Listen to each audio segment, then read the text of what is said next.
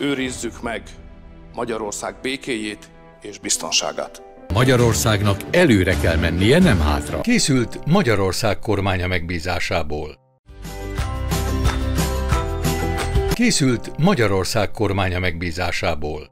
Csak három videó 2022-ből, de ennél sokkal többet toltak az arcunkba társadalmi célú reklámnak nevezve.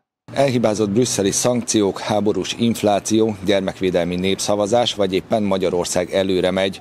A miniszterelnöki kabinet iroda társadalmi célú reklámokban közvetíti a kormány üzenetét.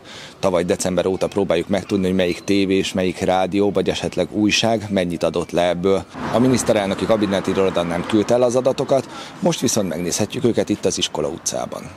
Az adatigénylést októberben indítottuk, de először azt válaszolták, az adatokat a két bontásban nem tartják nyilván, majd 45 nap türelmet kértek az újabb adatkérésre, és december 19-re küldtek egy felsorolást a kampányokról.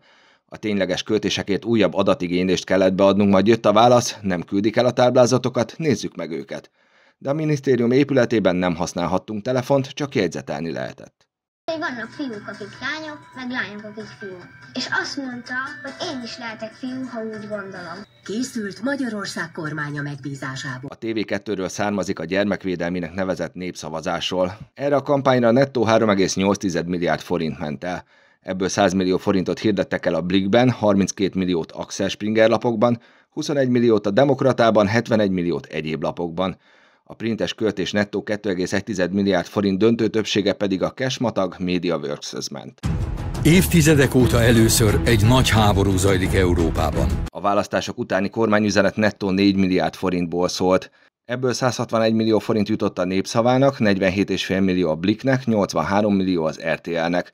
A pénz jelentős része azonban itt is a kormány médiához vándorolt. 13 mappát kaptunk, ebből gyűjtöttük ki az adatokat. A kesmatagok költését nem számoltuk ki pontosan, ugyanis könnyebb volt a nem kormány közeli költéseket összeadni, de a nagyságrend így is helyes. Brüsszel az elmúlt hetekben egyértelműen megtámadta Magyarországot a gyermekvédelmi törvény miatt. A kabinetiroda összesítésünk szerint 2022-ben 19,6 milliárd forintot költött társadalmi célúnak nevezett kampányra. A politikai kampányokhoz köthető reklámokból 16,6 milliárd forint ment a kormány médiához, ez az összeg tartalmazza a közvetítő cég 15%-os jutalékát is. A lapok legtöbbször 30-45%-os kedvezményt adtak a listaárból, a tévéknél ez 75%-ig nőtt. 2022-ben nem csak az eddig ismert Newland médiával szerződött a Rogán Minisztérium, hanem a szintén Balási Gyula érdekeltségébe tartozó Moonlight Event Kft. is képbe került.